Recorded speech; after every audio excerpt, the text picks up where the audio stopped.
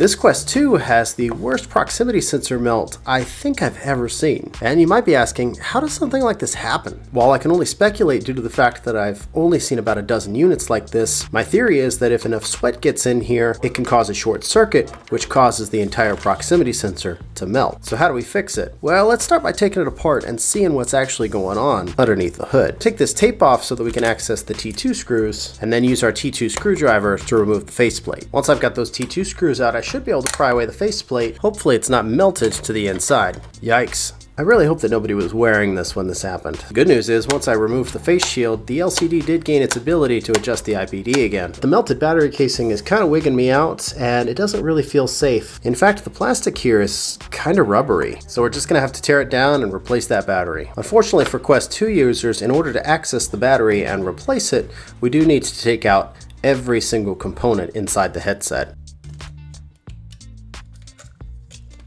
And out comes the LCD. Now we finally have access to the screws that hold the battery in. And out it comes. A little bit of a closer look at the melting. New battery goes in. And now it's time to put everything back together.